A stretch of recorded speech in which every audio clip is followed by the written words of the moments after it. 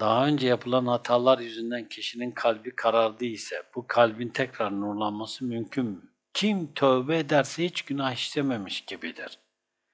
O yüzden bir kimse hadis-i şerifte Hazreti Peygamber sallallahu aleyhi ve sellem hazretleri günah işleyenlerin en hayırlısı günahına tövbe edenlerdir.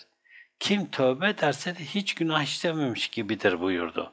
O yüzden ne her ne yaptıysak yaptık biz tövbe eder geri döneriz. Cenab-ı Hak da affı mağfiretine nail eder inşallah bizleri. Ama Hz. Peygamber sallallahu aleyhi ve sellem Hazretleri'nin hadis-i şerifi açık.